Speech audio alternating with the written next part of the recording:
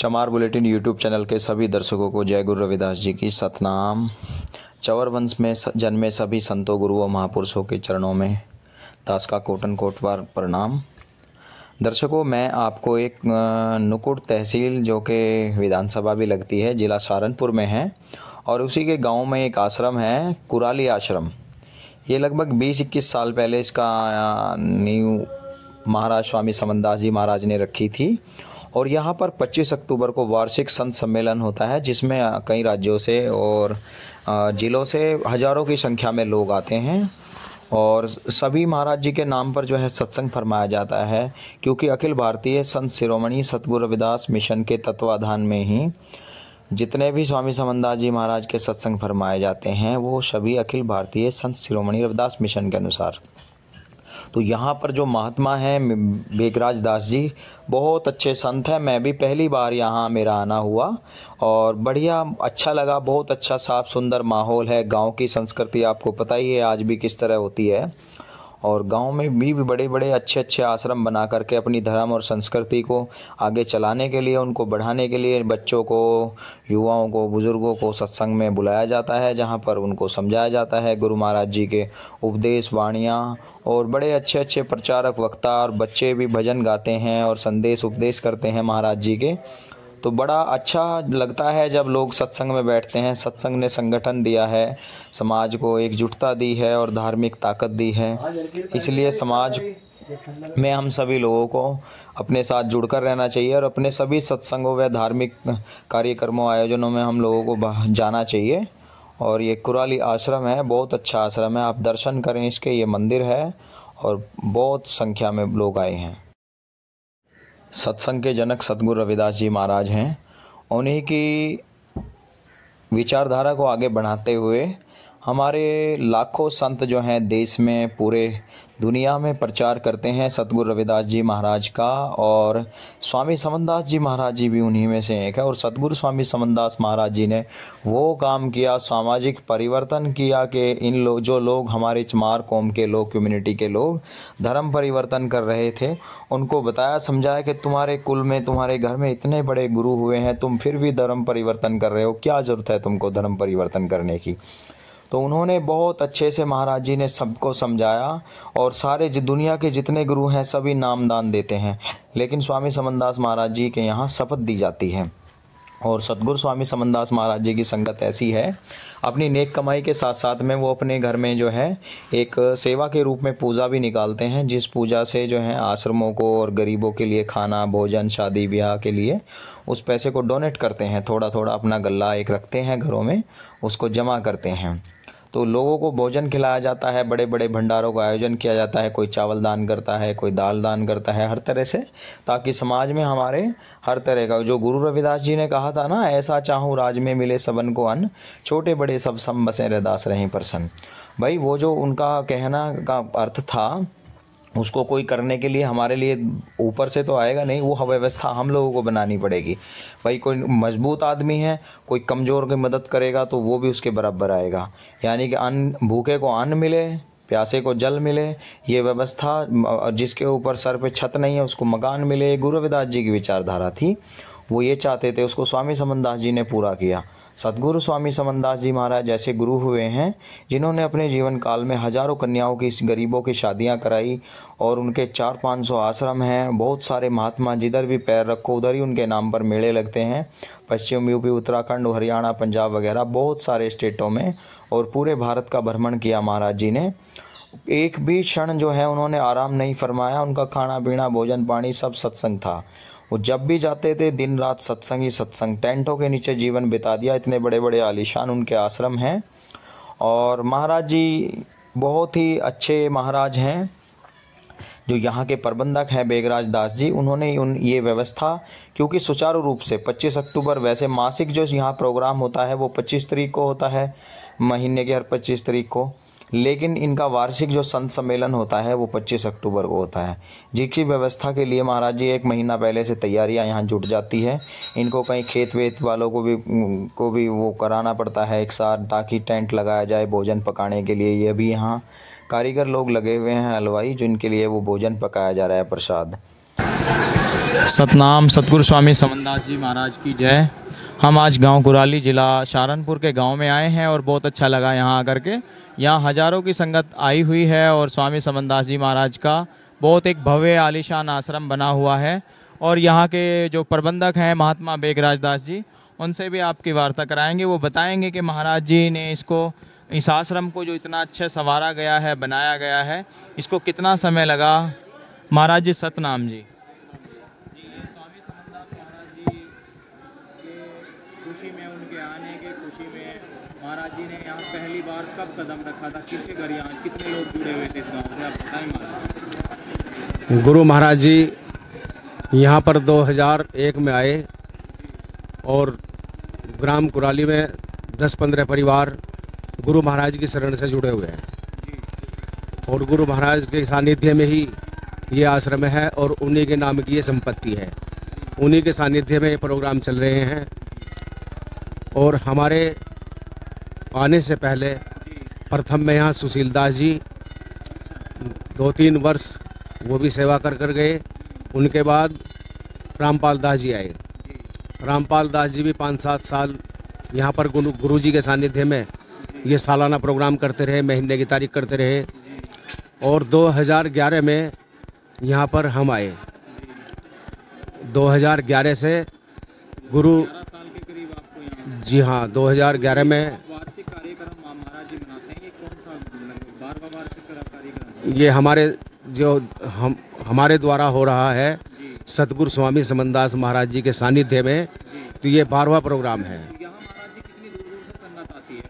गुरु महाराज के चरणों में यहाँ पर बहुत दूर दूर से संगत आती है हरियाणा से पंजाब से और अपना सहारनपुर क्षेत्र है। वो सभी गुरु महाराज के चरणों में जुड़ा हुआ है।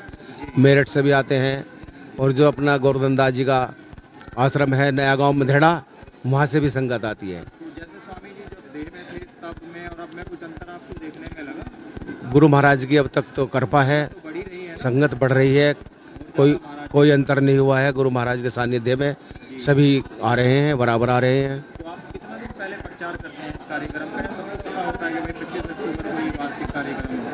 इस प्रोग्राम के लिए मुझे दो महीने लगते हैं। दो महीने में पूरा प्रचार प्रसार करते हैं। ये सहारनपुर की भी है और अपने ग्राम कुराली की भी है। ये हर वर्ष सेवा करती है जी। हाँ जी। ये सेवा मंडली है यहाँ ये सेवा मंडली जो वर्तमान में जो ड्रेस पहनी हुई है, ये सहारनपुर से है।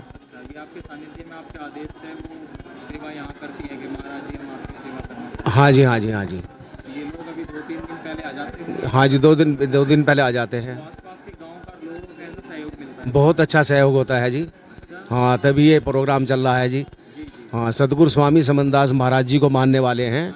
सभी लोग उन्हीं के सानिध्य से जुड़े हैं, उन्हीं का प्रोग्राम है। सभी हर्ष उल्लास के साथ। हाँ हाँ जी हाँ जी। आदरणीय परम पूज्य, परम संत शिरोमणि। जी हाँ। ये आदरणीय परम पूज्य, परम संत शिरोमणि रविदास महाराज के सत्संग की खुशी में आदरणीय परम पूज्य, परम संत शिरोमणि सतगुरु स्वामी समनदास महाराज जी के सानिध्य से ये मेला लगा हुआ है। ये मतलब कोई पीठ नहीं है। ये सत्संग के द्वारा ही और सतगुरु स्वामी समनदास महाराज जी के सानिध्य से ही तब से गुरु महाराज जी का यहाँ आना हो, जाना हुआ, तब से ही ये मेला है। इससे पहले यहाँ कोई मेला नहीं था। सतगुरु स्वामी समनदास महाराज जी के सानिध्य में हमें 20-25 वर्ष हुआ है। निवासी, अपना निवास स्थान ग्राम चांदसमंद जो जन्म स्थान है वो चाँद चांदसमंद है। और 2088 में अठासी नवासी में हम नया गाँव मधेड़े आ गए थे। वहाँ पर निवास स्थान है। हाँ जी नया गाँव मधेड़ा जैसे ही आश्रम हुआ आश्रम बनते ही हमारा सानिध्य सतगुरु स्वामी समनदास महाराज जी के सानिध्य में और महात्मा गोवर्धन दास जी के द्वारा हुआ।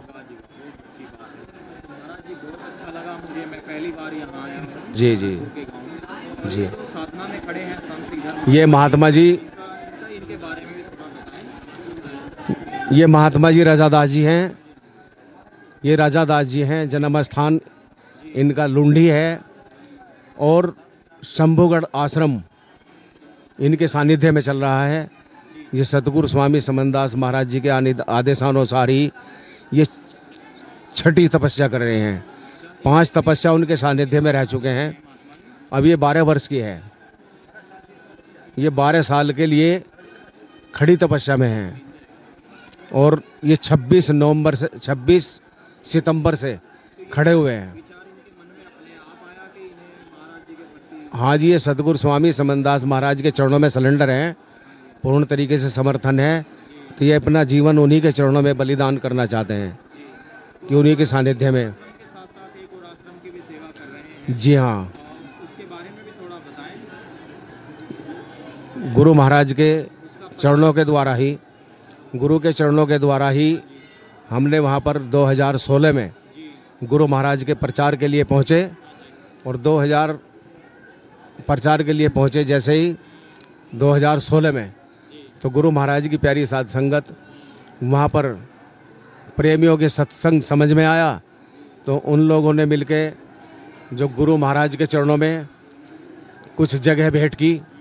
जो दो कनाल में है दो कनाल जगह है और राम आश्रम ठीक है और आश्रम को भेंट आश्रम की जगह भेंट करता राम सिंह दास सनोप नानक जो। उन्होंने ये आश्रम की जगह गुरु जी के चरणों में भेंट की है। तो उनके चरणों में उनको सौंप दिया और गुरु महाराज के गुरु समनदास महाराज जी के नाम ही उन्होंने वो रजिस्ट्री की गई है। हाँ जी। स्वामी जी के स्वामी जी के नाम रजिस्ट्री है और उन्हीं के सानिध्य में वो आश्रम चल रहा है। वहाँ पर भी सेवा। बहुत अच्छा सहयोग है जी। हाँ क्योंकि क्षेत्रवासियों के के सानिध्य से मासिक तिथि वहाँ पर प्रथम इतवार है। पहला रविवार। पहला रविवार है। पहले रविवार को वहाँ सत्संग किया जाता है। सतगुरु स्वामी समनदास महाराज जी वहाँ पर पहुँचे थे और उन्होंने ही आदेश किया था कि पहले इतवार की संगत लगाया करो तो हम तभी से पहले इतवार की वहाँ पर संगत लगा रहे हैं।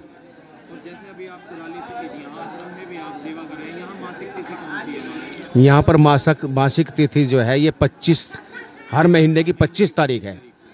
हर महीने की 25 तारीख। हाँ जी हाँ सभी आते हैं? जी। सभी आते हैं। ये आश्रम जो है देखिए समाज के बिना तो चलता नहीं मगर मगर ये आश्रम जो है सतगुरु स्वामी समनदास महाराज जी के नाम ही है। ये गाँव के थोड़ा बाहर है। जी हर साल हाँ? जी हाँ सर संगत ऐसी आती है जी। हाँ जी। तो आप क्या कहना चाहेंगे कि सभी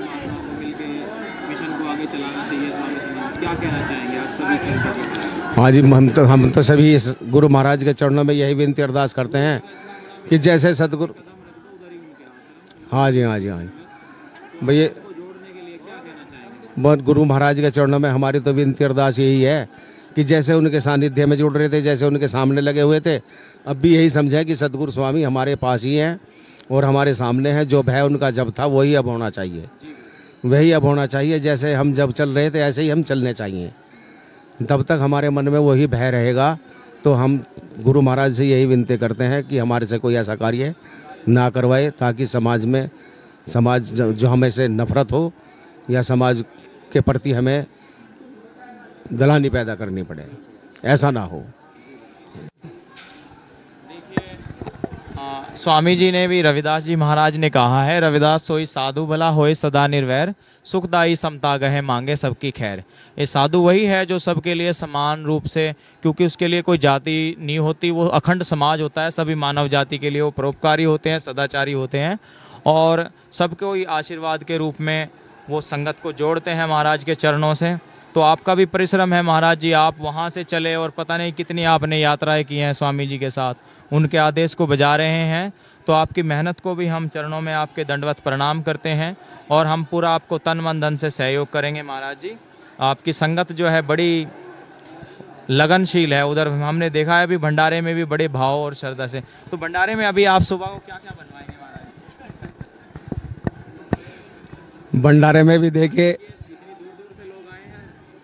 भंडारे से। देखिए, ये जो भंडारा है, सदगुरु स्वामी समनदास महाराज जी का है।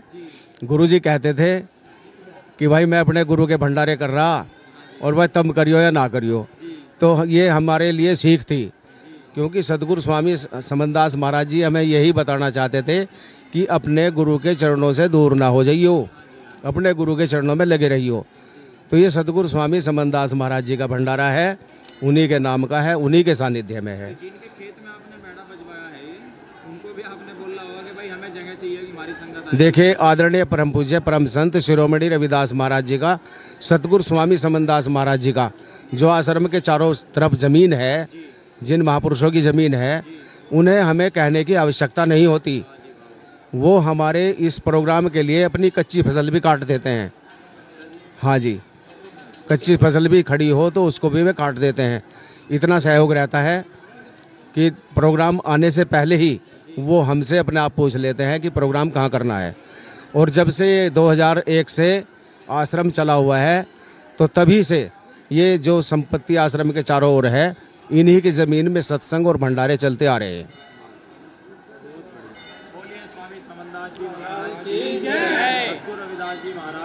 जय। जय। जय। जय जी महाराज की जय। आदि संत समाज की। जय। माइक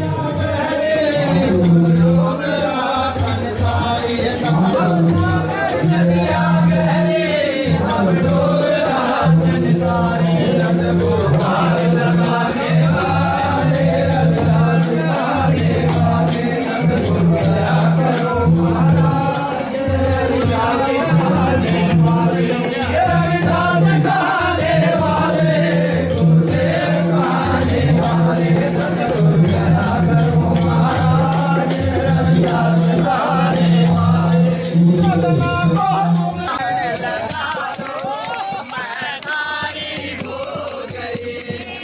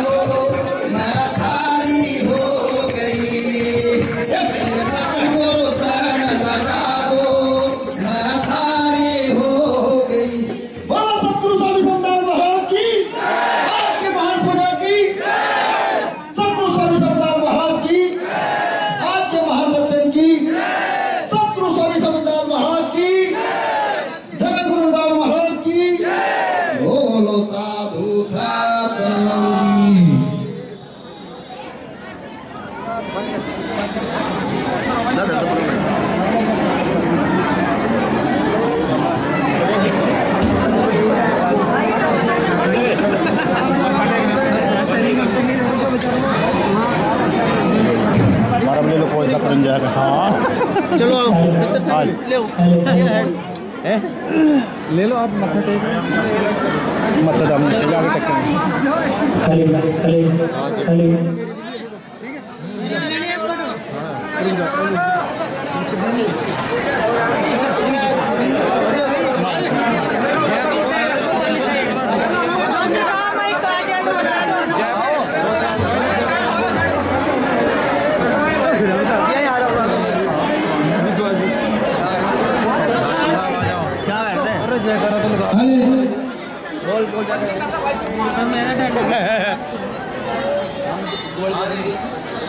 हम इधर से आ जाएँगे। बोलिए परम संत शिरोमणि सदगुरु स्वामी रविदास जय। सतगुरु स्वामी समनदास जी महाराज की। सतगुरु दादा ज्ञान भिक्षुक दास जी महाराज की। आज के महान सत्संग की। आज की महान पूजा की। महात्मा श्री बेगराज दास जी की। सभी संत समाज की सतनाम सतगुरु हाँ हाँ काम है